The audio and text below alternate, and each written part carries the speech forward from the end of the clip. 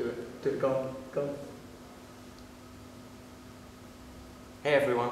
There we go. Oh, that's so big. Just like Tobey Maguire. One more time. Hey everyone. Yes. Wait. Say it one more time. Hey. Everyone.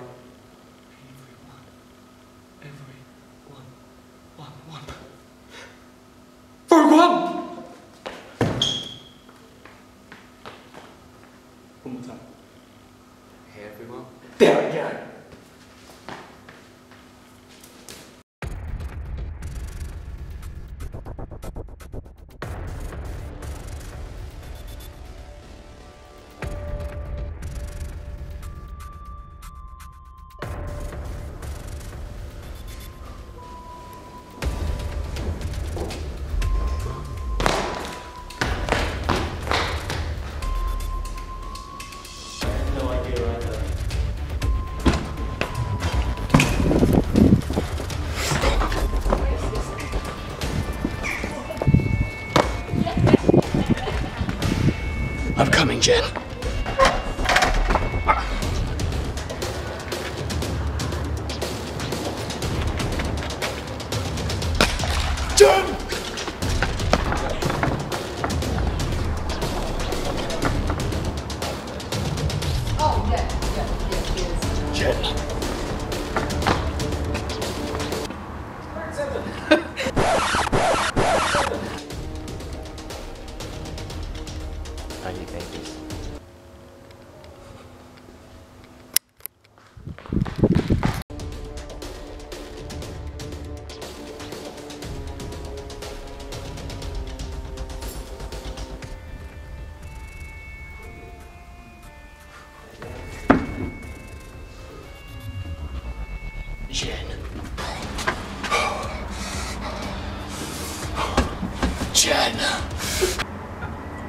Can, you move? Sorry, man. Uh,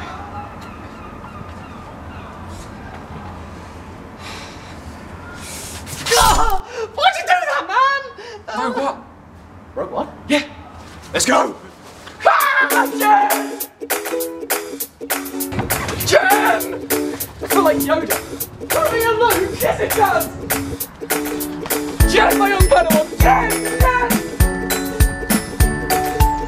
I'm coming! Jen, come on! Jen, come on!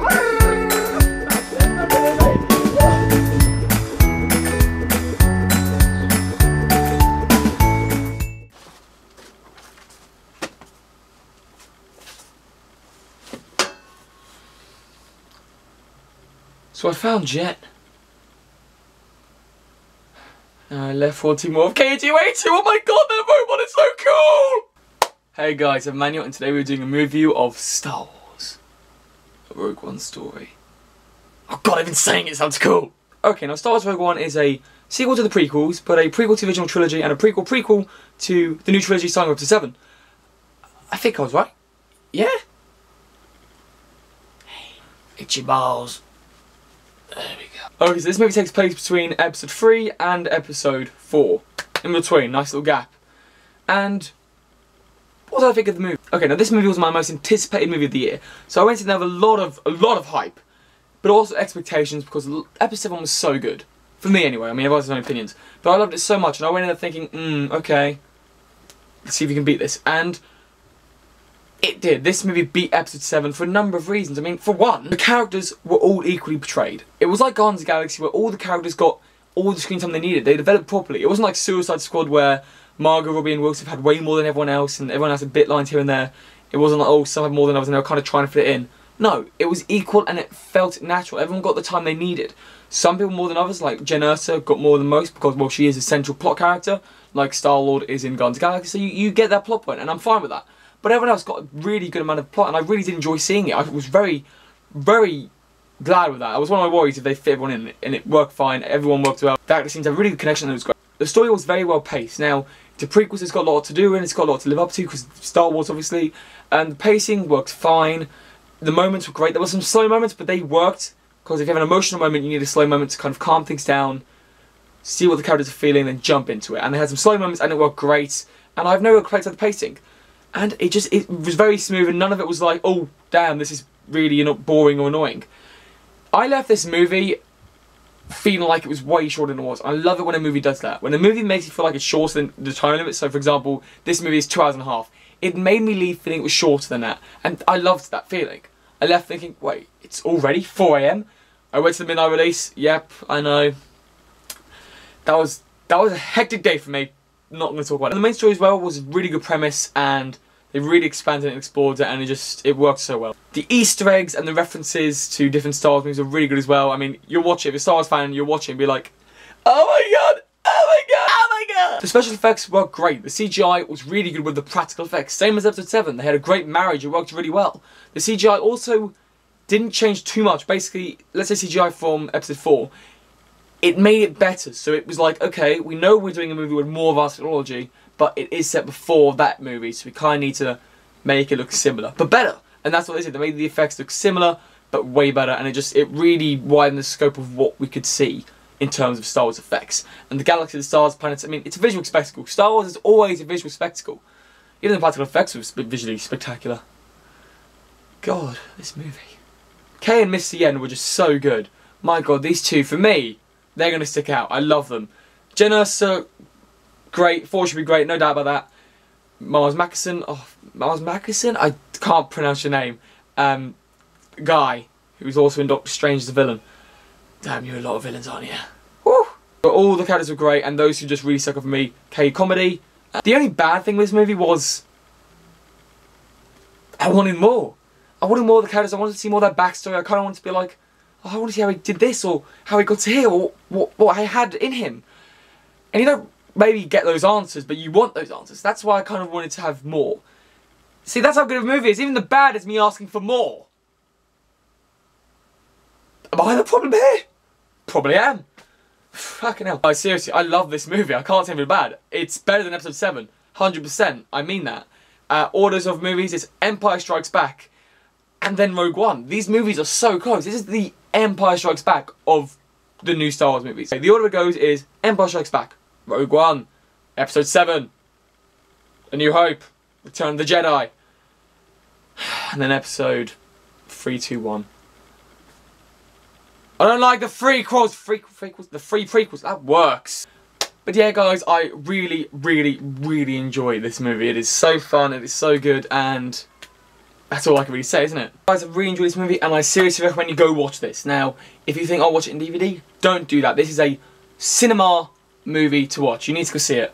Um, CGI I thought was really good. Um, some bits better than others because obviously you've got such a big budget but you've got so many things to do that you can't always spread around equally. So some things are better than others, I can say that. So maybe that's a weakness of having not the CGI 100% equal to everything else. Some bits better than others. Perhaps I wanted it all to be just better. But you know, you can't have everything. I know that, I know that. Okay guys, I'm going to give Star Wars Rogue One story an A++. plus plus With the Keishki approval.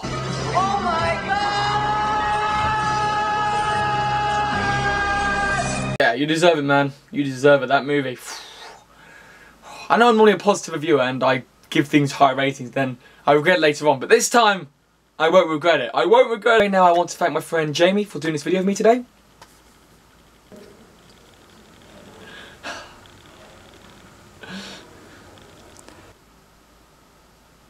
Uh, what are you doing? It, it didn't look like nothing. No, it's nothing. No, okay, okay.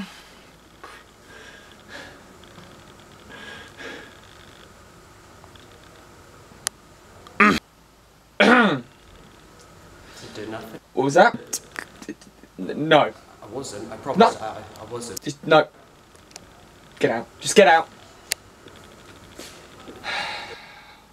Why, Jamie? Why? What's the point? And I also want to thank my friend Matt.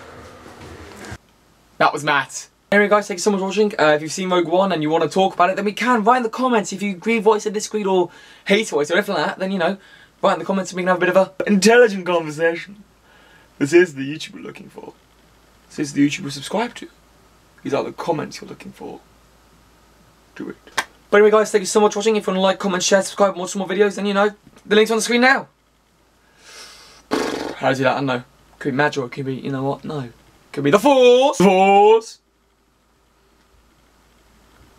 Or the Empire.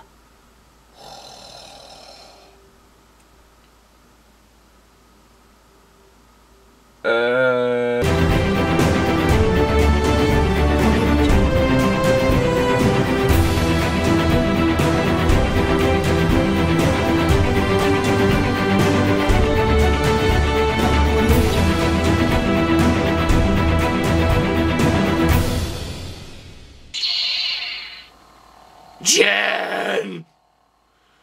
for you!